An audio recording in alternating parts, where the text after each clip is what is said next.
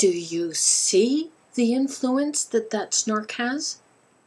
Here I am, vlogging in the blue room with all of the glare, just to participate in the epic weekend of making videos for Snark. I can only make this one video, and it's going to piss her off because it's only going to be 30 seconds long.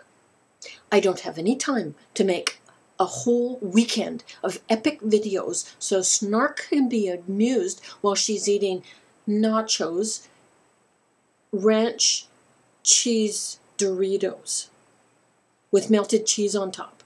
No lobster. I was very disappointed she didn't get the lobster.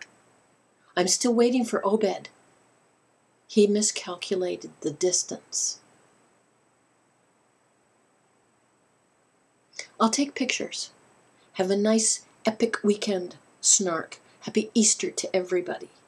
That's it, that's all.